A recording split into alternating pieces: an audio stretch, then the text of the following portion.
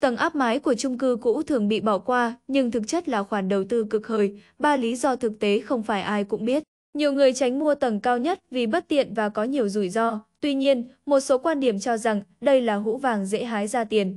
Khi bỏ tiền mua chung cư, mọi người thường tránh những căn ở tầng áp mái. Lý do đầu tiên là vì lo ngại chuyện thang máy bị trục trặc. Với những người sinh sống tầng trên cùng lối đi và về chỉ là thang máy, khi gặp vấn đề họ có thể phải chịu cảnh bị nhốt trong thang máy cả nửa giờ đồng hồ mới được cứu ra khỏi đó.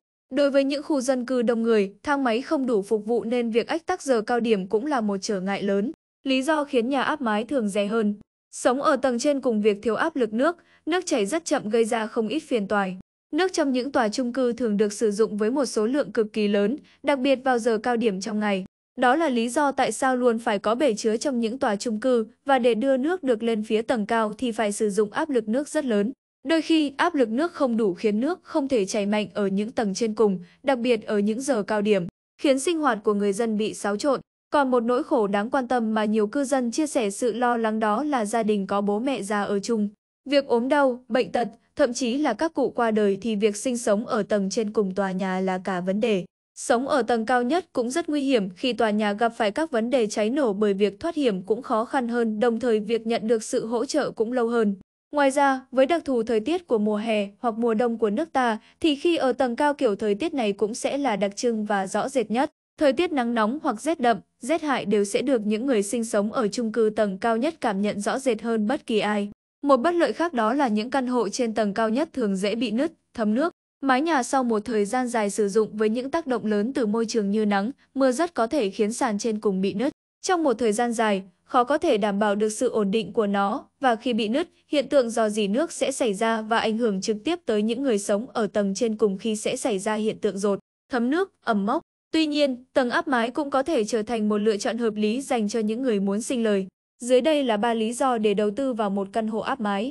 1. View tốt, giá thành phải chăng?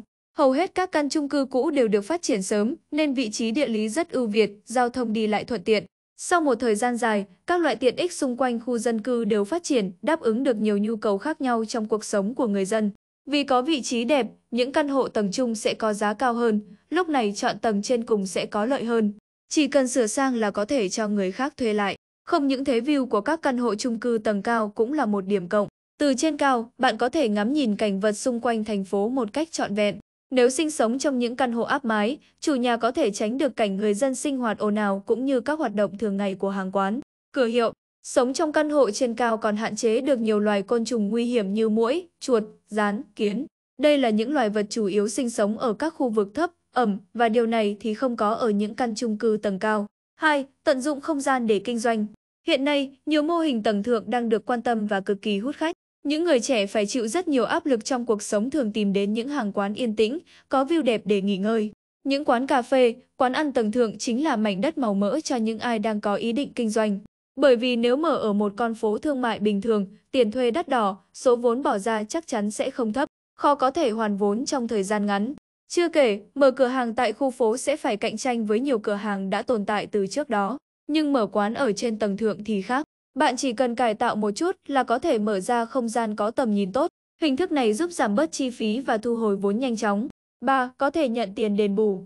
Đối với những căn chung cư đã tồn tại lâu đời, có khả năng chủ đầu tư sẽ phá rỡ để thay đổi diện mạo. Tại Trung Quốc, nhiều người mua tầng áp mái của chung cư cũ vì vốn bỏ ra không nhiều. Không ít trường hợp may mắn vì nhận được tiền đền bù. Tuy nhiên, những trường hợp may mắn này chỉ dừng lại ở mức 50 trên 50.